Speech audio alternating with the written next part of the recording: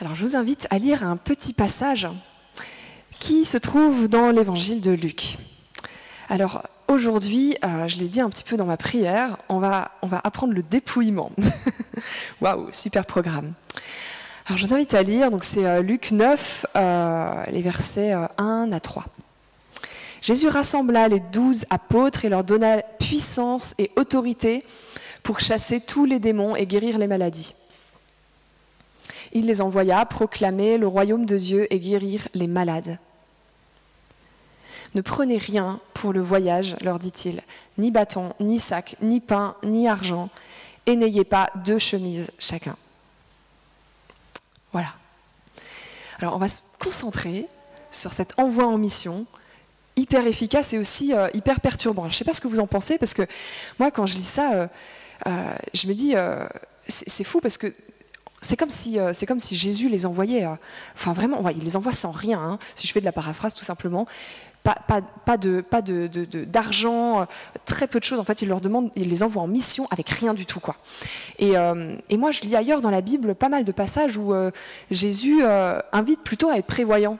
Donc je me dis, c'est étrange, je ne sais pas ce que vous en pensez, mais euh, c'est étrange parce que vous connaissez peut-être euh, ce passage où Jésus dit, euh, avant de construire une tour, ben d'abord tu vas t'asseoir et tu vas calculer, voir si tu as bien les moyens de le faire. Hein. tu vas d'abord bien, bien te préparer. pareil, si tu dois partir en guerre, tu ne le fais pas n'importe comment, tu, vas être quand même assez prévoyant, tu vas, tu vas réfléchir un peu. Il y a, y a une autre parabole aussi où on nous parle de la prévoyance. vous savez, c'est la, parabole des vierges folles et des vierges sage. Vous vous souvenez de ça euh, euh, où, en fait, grosso modo, il nous dit bien, euh, si vous avez des lampes à huile, prévoyez l'huile avec, hein, pas, juste les, lampes, parce qu'elles vont, s'épuiser. Donc, soyez prévoyants. Soyez prévoyants, c'est un truc qu'on retrouve très très souvent dans la Bible quand même. Jésus ne nous invite pas du tout à l'insouciance. Mais là, il y a ce verset qui nous dit, ben, en fait, là, au contraire, il envoie, il envoie ses disciples en mission avec rien. Il leur dit quasiment rien. Et, pourquoi ça, en fait? Euh, Pourquoi est-ce qu'il euh, leur dit, ben, là, vous, partez avec quasiment rien et vous faites juste confiance? Vous savez, moi, ça me fait penser un petit peu, vous, êtes déjà parti en vacances en voiture hein ça vous est déjà arrivé de voir sur le bord des routes euh, en juillet les espèces de routes là qui sont en sandales, qui ont quasiment rien avec eux, peut-être juste un tout petit sac à dos et puis qui font du stop.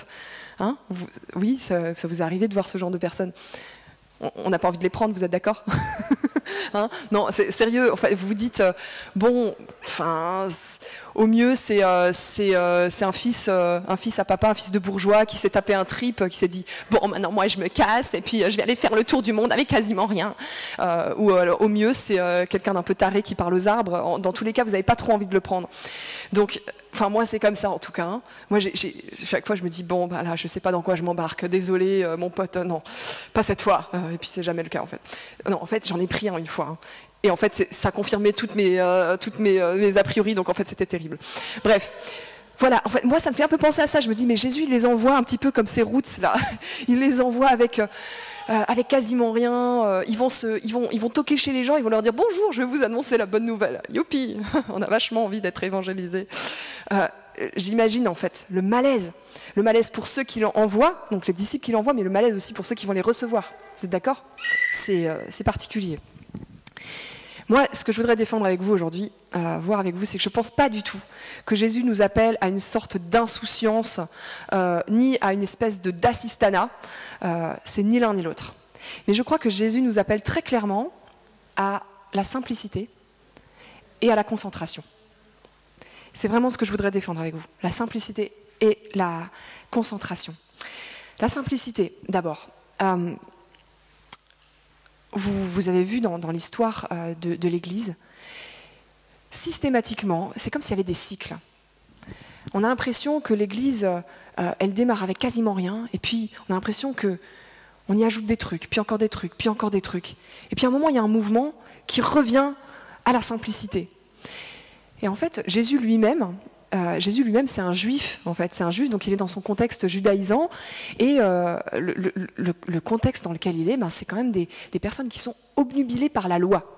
On est d'accord. La loi est un système de, absolument débordant, euh, d'une complexité incroyable. Si vous avez lu le Deutéronome et le Lévitique, vous pouvez voir comment ça, cette loi de Dieu se complexifie et puis il y en a de plus en plus et on a l'impression que c'est un truc de fou à la fin.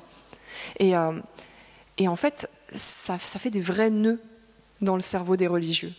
Cette loi de Dieu, à la base, elle est là pour, pour, pour dire quoi? Pour dire que la pensée de Dieu, elle est tellement complexe par rapport à notre pensée.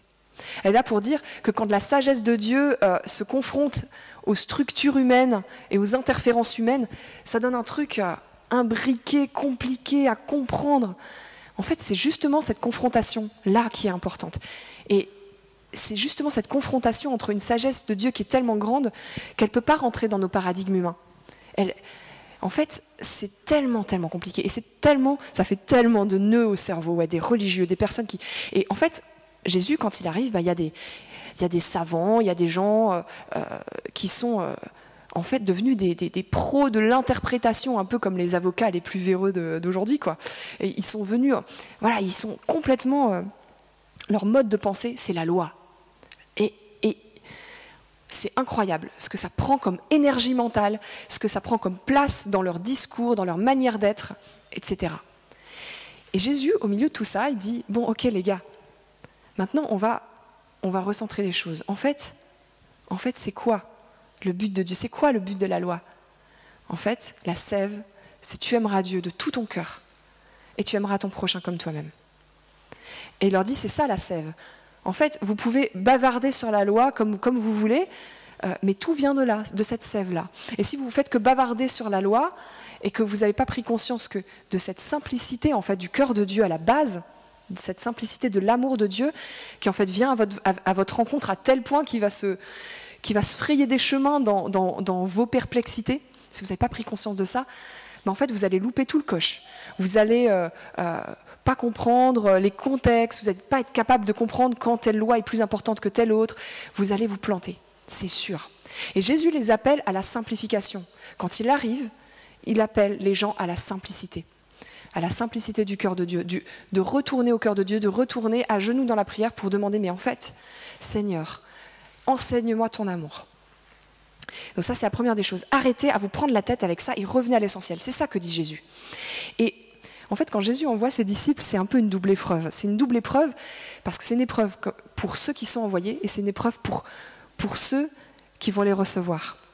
Et en fait, il est en train de leur dire, là aussi, retournez à cette simplicité. Sachez vivre cette simplicité. Est-ce que vous êtes prêt à vivre la simplicité dans laquelle moi je suis venu Est-ce que vous êtes prêt à vivre le dépouillement, à vivre cette simplicité, à l'assumer jusqu'au bout, jusqu'à venir comme une fleur devant les gens et leur dire j'ai rien, mais j'ai tout. j'ai rien en termes de, matériel. Euh, je ne sais pas ce que vous allez lapsus, hein, laissez tomber. j'ai rien en termes de matériel, mais mais en fait j'ai énormément à donner. Est-ce que vous êtes prêts à l'assumer? Et il est en train de, aussi de présenter un défi à ceux qui vont les recevoir. Euh, est-ce que vous êtes prêts à recevoir la simplicité? Est-ce que vous êtes prêts à, l'accueillir dans votre maison?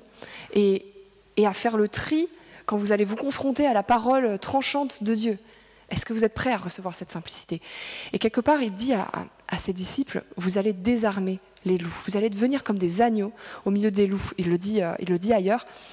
En fait, votre simplicité, elle va être tellement puissante qu'elle va désarmer les gens les plus, euh, les plus bien pensants, les plus enrobés de codes et de, euh, de savoir-faire, etc. Vous allez les désarmer par votre simplicité. Et vous savez, frères et sœurs, moi j'ai été désarmé par la simplicité de quelqu'un. J'ai été converti par quelqu'un qui était simple, qui a été totalement dans le dénuement le plus complet, euh, elle, était en esclavage moderne, elle est venue chez nous, elle est venue habiter chez nous, elle nous a tout donné. Elle a été un ange dans, dans, la vie de ma famille.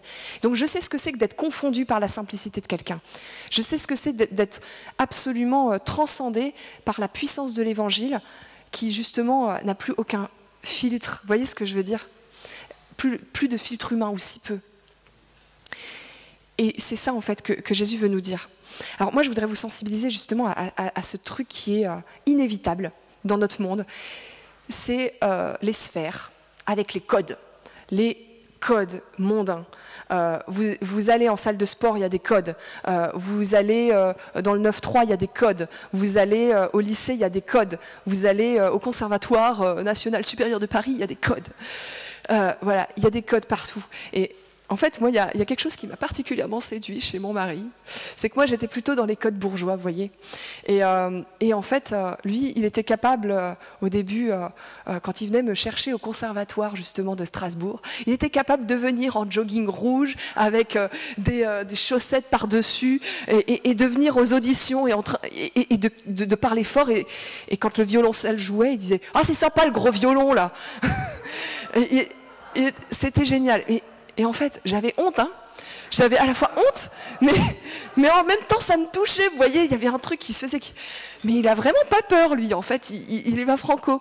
Et, ça m'a touché, vous voyez, cette manière de casser les codes. Et, euh, moi, j'ai toujours eu un goût pour ça. J'ai grandi dans une sphère où il y avait toujours les mêmes codes, mais en fait, j'avais un goût, j'avais tellement envie de casser les codes, en fait. J'avais quelque chose en moi qui brûlait pour ça. Et, euh, et en fait, ah, moi, je pense que Jésus nous enseigne à casser les codes, mais pas n'importe comment. Un exemple, vous voyez Mère Teresa. Mère Teresa, euh, je sais pas, son, style, il fait pas rêver, son style vestimentaire. Hein. il fait pas trop rêver. Hein. Bah, c'est le style Jésus, voilà, euh, sandales, euh, bure, c'est le style bonne sœur, quoi. Hein. Mais punaise, quelle puissance, quelle puissance chez cette femme. Quelle puissance dans son œuvre, quelle puissance dans son amour. Aujourd'hui, tout le monde, toutes les religions confondues, sont capables de dire que Mère Teresa, ben, c'était, euh, c'est un truc de fou, quoi. Et euh, ça, c'est un exemple de, personnes qui cassent les codes. Alors, évidemment, toutes les bonnes sœurs sont pas Mère Teresa. Hein. Toutes les bonnes sœurs n'ont pas la puissance de Mère Teresa, malheureusement. Donc, il suffit pas d'avoir le style bonne sœur pour être puissant. Donc là aussi, il faudra peut-être encore casser les codes. Hein. peut-être qu'il faut qu'il y ait des personnes qui cassent les codes chez les bonnes sœurs pour, là aussi pour faire passer la puissance de l'évangile. J'en suis absolument persuadée. Mais elle, dans son style, elle a cassé les codes, tout un tas d'autres codes en fait. Et moi, c'est ça que j'aime. Euh, et ça, je résonne vraiment à, la puissance de Jésus. Jésus a cassé les codes. N'importe n'importe où où il était invité, il savait casser les codes. Mais vous voyez, c'est pas euh, ce, qui est, incroyable, c'est qu'il n'a pas cassé les codes euh, comme une racaille qui déboule chez les bourgeois il, était capable de casser les codes des bourgeois, mais de casser aussi les codes des, prostituées. Il était capable de casser les codes des, collecteurs d'impôts. Il était capable de casser les codes des lépreux. Il était capable de casser les codes de tout le monde, en fait. Parce que tout le temps, en fait, il apportait la citoyenneté de Dieu là où il était. Et en fait, moi, j'aimerais vous inviter à, quelque chose, en fait, euh, à questionner, en fait, vos codes ou les codes auxquels vous êtes sensibles. Parce qu'en fait, on l'est absolument tous. Et vous savez, euh, il y a un piège, il y a un piège euh, de croire que euh, si on se balade justement ben, en sandales, sans maquillage, avec les cheveux décoiffés, qu'on n'a que le nom de Jésus à la bouche, qu'on est, c'est bon, on a explosé les codes. Mais non, il y a aussi le code du, de, l'évangélique ébouriffé. ça existe aussi, et mince. Donc en fait, il y a toujours un code à casser. Et en fait, je, vous invite vraiment à interroger, mais à quel code on est sensible en fait? À quel code on est sensible? Parce qu'aujourd'hui, Jésus, il veut vous dire, ben, ce code-là, c'est comme si tu emportais avec toi un bagage. C'est comme si tu emportais avec toi un bagage euh, duquel il va falloir que tu te débarrasses, qui va te t'embourber, en fait, qui va te t'embrouiller, qui va t'encombrer dans ta mission. Euh, en fait, je sais pas, peut-être qu'il y a euh, des gens qui sont particulièrement à l'aise dans, euh, dans euh, les, repas mondains euh, de la gauche bien. Bien pensante. Moi, je, peux être à l'aise là-dedans, en fait, il hein, n'y a pas de problème.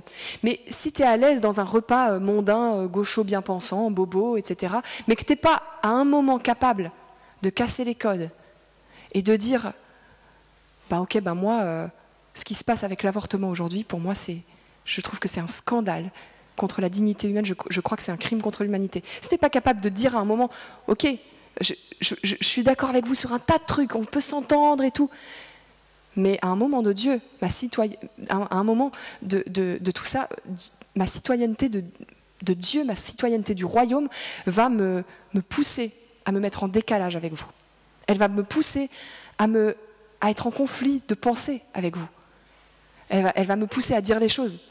Si, en fait on n'est pas capable de faire ça, en fait, ça veut dire tout simplement quoi? Ça veut dire que notre, notre citoyenneté terrestre soumet notre citoyenneté spirituelle. que notre citoyenneté des cieux est soumise à notre citoyenneté terrestre. Ça veut dire qu'en fait, on a loupé la mission. On s'est laissé encombrer de quelque chose. La simplicité, c'est laisser tomber les bagages, les bagages euh, de ces codes que vous... Euh, vous savez, c'est comme si on était euh, plein de glu ou de goudron et puis qu'on se ramassait des résidus. Même quand on ne veut pas, on s'en ramasse toujours. On se ramasse des résidus de codes mondains. Et régulièrement, en fait, Jésus nous rappelle, ok, va en mission sans rien, quoi. Dépouille-toi au maximum. Va en mission et rappelle-toi que là où tu vas être, il y a un moment, d'abord tu vas faire ami-ami, tu vas faire... c'est bien, tu vas te sentir bien, et à un moment tu vas te sentir mal. À un moment, il va falloir que tu, tu ailles confronter ta citoyenneté de Dieu à celle du monde. Ça, c'est la, la simplicité à laquelle nous appelle Dieu. Et maintenant, il y a la concentration. En fait, je parlais des bagages. Si on reste dans cette, cette, dans cette logique des bagages, vous savez, quand euh, en fait, on, parlait avant d'être prévoyant. C'est bien d'être prévoyant. Est-ce que ici, il y a des gens super prévoyants, des gens qui, euh, genre, quand ils partent euh, euh, en, voyage, ils peuvent pas s'empêcher d'avoir des mal énormes parce qu'en fait, ils s'y sont pris trois jours à l'avance à, calculer le moindre truc, la moindre situation. Ok, ben, si je vais à la plage, si je vais dans une plage de galets, voilà, sur une plage de galets, il faut absolument que j'ai des petites croques qui sont quand même esthétiques, hein, qui se voient pas trop, mais qui m'évitent de me faire mal aux pieds. Et puis, si je suis dans cette, cette situation-là, et puis que tout d'un coup, ben, il y, a, y, a, je sais pas, un bal folklorique. Donc il faut que j'ai une petite robe qui soit adaptée au bal folklorique, donc qui en fait ni trop ni pas assez, machin. Trois jours à l'avance, quoi. Et une malle énorme. voilà, il y a des gens comme ça, n'ayez pas honte. voilà, euh, et, ben en fait, c'est bien de préparer, mais mais en fait, il y a un moment, si tu prépares trop, ça va t'encombrer et ça va te bloquer dans ta mobilité en fait. Euh, et puis peut-être tu vas te faire refouler à l'avion, à l'aéroport parce que tu as trop, trop pris. Quoi. Euh, ça va te bloquer dans ta mobilité, dans ta liberté. Et euh, alors, une autre image, c'est les préparatifs de mariage. les préparatifs de mariage, moi j'ai connu beaucoup, bah, bon, moi, déjà je suis passée par là, hein, mais les préparatifs de mariage, il y a toujours une partie de la famille qui veut te compliquer les choses, on est d'accord? Qui veut t'en rajouter là où tu n'avais pas. voilà. Et et en fait, les préparatifs de mariage, il y a un moment, si tu es trop prévoyant, mais tu vas juste louper l'essentiel de ton mariage, en fait. Hein. Tu vas juste passer toute ton énergie mentale sur des trucs qui n'ont aucune importance. Et, euh, là, bah, avec mon cher mari, bah, on s'est permis un truc le jour de mon mariage. Et même si on n'était pas euh, encore totalement converti à l'époque, bah, ça, je m'en souviens comme quelque chose de fort. On a cassé les codes. Et on a dit, maman, non, Maman, non, tu vas pas venir euh, me chercher en, limousine, machin truc. Non, on va pas dépenser de l'argent pour ça. Non. Euh, non, on va pas euh, faire le rituel, on va aller directement à l'église, on, va, être devant à l'hôtel, histoire de symboliser qu'en fait, on est déjà, déterminé à vivre sous Jésus. quoi. Bref, on a, cherché les petits symboles, vous savez, des petits symboles à casser en fait. Et on l'a fait exprès. On était peut-être un peu rebelles, hein. peut-être qu'il y a des trucs sur lesquels on s'est planté, mais enfin voilà, il y, a des choses, en fait, on peut. Là aussi, il faut se poser la question. Si, on se prend trop la tête avec les préparatifs, eh ben, on, va, se laisser détourner de l'essentiel. Donc les bagages, en fait, moi je vous invite à, vous poser la question quelles sont, quelles sont vos charges mentales maintenant? Quelles sont euh, là, on a parlé des codes tout à l'heure. Les, codes peuvent être une charge mentale. Euh, mais les charges mentales, ça peut être tout un tas d'autres choses, en fait. Quelles sont vos charges mentales? Les, endroits sur, lesquels vous vous prenez le plus la tête, comme les religieux, à l'époque de Jésus Quels sont euh, les, trucs qui vous demandent le plus de jus de cerveau euh, le matin quand vous vous levez? Est-ce que justement c'est ben, c'est la manière dont vous vous habillez. Est-ce que euh, euh, c'est euh, la, manière dont vous allez paraître dans telle sphère sociale? Est-ce que qu'est-ce qui vous prend le plus de qu'est-ce qui vous prend le plus en termes d'investissement financier, investissement de temps? Dans quoi est-ce que vous investissez? C'est dans votre budget, qu'est-ce qui a le plus de place Dans votre semaine, qu'est-ce qui a le plus de place? Quelles sont vos charges mentales? Quels sont vos investissements? Là, où on consomme le plus en fait, de nous-mêmes et, aussi même des autres en fait, là où on consomme le plus. Ça, c'est un bon révélateur. En fait, je pense que quand Jésus envoie ses disciples avec quasiment rien, il les envoie avec euh, la conscience qu'il faut qu'ils ne se laissent pas distraire. Il faut qu'ils ne se laissent pas distraire. Parce que quand tu as euh, plusieurs trucs, eh bien, c'est une occasion de distraction. Il ne faut pas qu'ils se laissent distraire de leur mission. Il ne faut pas qu'ils se, se laissent détourner, en fait, de ce pourquoi ils ont été envoyés. Les distractions, moi je crois que si, on regarde dans nos semaines et dans, nos agendas et dans nos cœurs, les distractions, en fait, c'est, c'est pas un truc pas grave, en fait. On a l'impression, vous savez, dans notre monde de, super consommation, que, que c'est pas grave, que c'est des petits péchés par-ci par-là, bon, ça va. Mais en vrai, si on regarde avec un peu plus de sérieux, eh ben, ça révèle les idoles de notre cœur. Ça révèle très très souvent les idoles de notre cœur. Es-tu préoccupé plus par les codes de telle sphère sociale que par le message que tu vas faire passer? Es-tu préoccupé plus par les vêtements ou les études d'une personne quand, elle te parle? Euh, Es-tu plus préoccupé à, la sonder euh, euh, à, travers, à travers ce qu'elle a fait, à travers que par sa discussion? Est-ce que tu es plus euh, centré sur euh, son apparence ou, ses études ou, même sa, capacité rhétorique? Es-tu plus concentré sur ça ou es-tu plus concentré sur son âme? Ça, c'est des questions à se poser. Ça, je pense qu'en tant que chrétien, c'est des choses qui sont urgentes et essentielles. Autant qu'on se pose la question pour nous, euh, on peut se poser aussi la question pour les autres. On peut se, projeter dans des, sphères en prenant conscience de ce qui se joue. Ça, je pense que c'est quelque chose que Jésus veut nous enseigner aujourd'hui.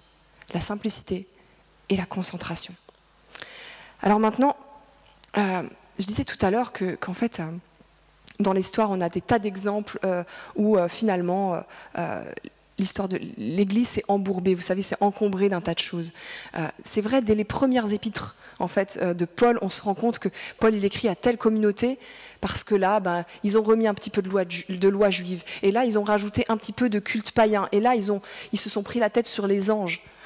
Déjà, dès les premières communautés, en fait, les humains avaient on a besoin en fait d'en rajouter. En fait, Jésus il est en train, il, nous dit constamment, ok, ça va, maintenant retourne à l'essentiel. Il nous dit constamment ça. Et nous, on dit ah ouais, ok, c'est vrai en fait. Et puis quelques semaines après, quelques années après, on est de nouveau préoccupé à rajouter des trucs. En fait, Dieu est d'une complexité incroyable et il nous fait ce cadeau de nous simplifier la chose en nous envoyant Jésus-Christ crucifié sur une croix. Il nous fait ce cadeau incroyable de dire ma pensée, de toute façon, elle va toujours être trop complexe pour la vôtre. Ma sagesse, elle va toujours être trop, euh, trop radicale pour que vous puissiez la suivre. Donc, fixez les yeux sur Jésus. En fait, Dieu, il nous fait ce cadeau-là, en fait. Il nous fait ce cadeau-là. Et nous, qu'est-ce qu'on fait? On se dit, bon, allez, on peut bien en rajouter un petit peu. Hein. On va bien rajouter un petit peu de, tradition euh, pour, euh, pour, euh, voilà, pour, pour rendre les choses un petit peu plus exotiques, un peu plus sympas, un petit peu plus... En fait, on, passe notre temps à encombrer le message de Jésus dans notre vie personnelle, dans notre vie familiale et, dans tout, en fait, dans toute la, vie, dans toutes les sphères qu'on traverse. Et Jésus passe son temps à nous rappeler, reviens à l'essentiel. Reviens à l'essentiel. Et euh, c'est vrai, euh, vrai au XIIIe siècle avec les franciscains, c'est vrai euh, au XVIe siècle avec la Réforme, c'est vrai au XIXe siècle avec les réveils de la Drôme, et c'est vrai encore aujourd'hui avec des, églises comme la nôtre, je l'espère, je, le crois vraiment, qui veulent vivre le réveil au sein des églises traditionnelles. Revenons à l'essentiel en fait parce qu'on a rajouté des trucs. Même nous, on croit qu'on est super sobre, les protestants. Je ne sais plus qui, m'a dit encore récemment. En fait, c'est l'écho qu'on a euh, quand, vous faites des, mariages avec les gens. Mais ce que j'aime beaucoup chez les protestants, c'est qu'ils sont sobres. Ok, c'est bien. c'est bien. Reste avec cette, image. pour l'instant, je vais. voilà, reste avec cette image. Mais moi, j'ai grandi dans un milieu protestant. Je peux vous dire, c'est pas simple. Hein. je peux vous dire qu'il y a des codes. Je peux vous dire qu'il y en a. On en a rajouté. On est, capable de faire ça. On sait très très bien faire. Euh, et, nous aussi, il faut qu'on simplifie. Nous aussi, il faut qu'on simplifie. Il faut qu'on revienne à l'essentiel. On revient à Jésus, on revient à la parole de Dieu. On revient à ce qu'on appelle le kérugme, c'est-à-dire l'essentiel. L'essentiel qui est illuminé par le Saint-Esprit et qui ensuite peut prendre des ramifications et peut faire des beaux arbres avec des beaux fruits dans notre vie. Et en fait, pourquoi est-ce que Jésus nous rappelle tout le temps la simplification? Pourquoi est-ce qu'il, finalement, euh, pourquoi est-ce qu'on est envoyé euh, un peu comme des routes? C'est quoi la conclusion de tout ça? Mince, il va falloir que je prenne le route sur le bord de la route. non, c'est pas ça la conclusion. La conclusion, c'est, en fait, euh, tu te dépouilles, mais même quand tu es dépouillé, tu as énormément à donner. Si tu as reçu Jésus dans ta vie, tu n'as jamais rien à donner. En fait, c'est ça qui est fou, c'est que Jésus nous invite à nous dépouiller pour quand même tout donner, en fait. Vous, comprenez? Vous, allez euh, avec rien devant les gens vous, enlevez vos filtres le plus possible, vous enlevez euh, euh, vos, comment dire, vos projections à vous, vous enlevez vos intérêts à vous, vous enlevez votre souci de, de, paraître pas trop, pas trop naze et pas trop hors du temps, vous enlevez tout ça. Et en fait, vous pouvez encore donner tout une fois que vous avez enlevé tout ça. Vous pouvez même encore plus donner tout quand vous avez enlevé tout ça. Parce que tant que vous êtes encombré, vous donnez que de la que des choses inutiles en fait. Quand vous êtes encombré, vous donnez du superficiel. Vous, vous donnez des choses qui ne valent pas le coup et qui ne vont pas sauver les gens. Mais une fois que vous êtes dépouillé, là, vous pouvez tout donner. Et vous inquiétez pas, il y en aura encore. Et il y en aura encore. Parce que plus on se dépouille, et plus Jésus donne dans notre vie. Et plus il donne à travers nous. J'aimerais vous inviter à prier pour qu'on puisse euh, vraiment se laisser percuter par cette, ce message de dépouillement, de simplicité et de concentration que nous donne Jésus. Ouais, Seigneur, on, veut, euh, on veut te remercier, on veut vraiment euh, prendre, euh, prendre au sérieux ce que tu dis à tes disciples là, d'aller avec quasiment rien annoncer ton règne, avec quasiment rien au contact de l'âme de notre prochain, au contact de ses encombrements à lui, pour que, au moins dépouillé de, nous, on puisse avoir plus de chances d'atteindre son cœur. Et euh, ce n'est pas une simple tâche, Seigneur. Et on sait à quel point il y a du travail à faire en nous. On sait à quel point on a besoin nous-mêmes euh, de, ton aide pour accepter de nous dépouiller euh, de nos idoles, en fait, de nos habits en trop, de nos habits qui nous font bien paraître aux yeux du monde, mais qui nous encombrent à tes yeux.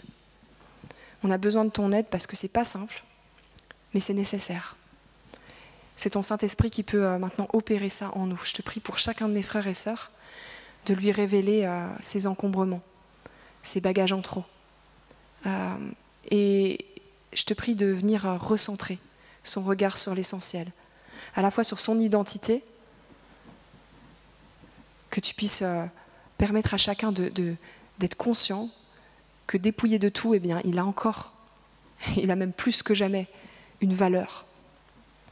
Que tu lui fasses prendre conscience que si il connaît cette valeur et s'il est capable de l'offrir au monde, eh bien, les gens euh, le respecteront. Je te prie de faire euh, prendre conscience que euh, notre concentration est tellement souvent attaquée et que c'est tellement, tellement facile d'être détourné. Et je te prie euh, de nous donner le sérieux de euh, penser que ce n'est pas juste euh, des péchés mignons, mais que c'est le malin qui cherche à mettre des tas de filets sur nous pour nous empêcher d'avancer. Voilà, Seigneur, voilà, que toute génération confondue puisse vraiment se poser la question. Ok, demain, quand je retourne au boulot, au collège, au lycée, dans ma fac, dans ma famille, quel code tu veux que je casse? Quel code tu veux que je casse? Et qu'est-ce que tu veux que j'annonce? Au nom de Jésus-Christ, Amen.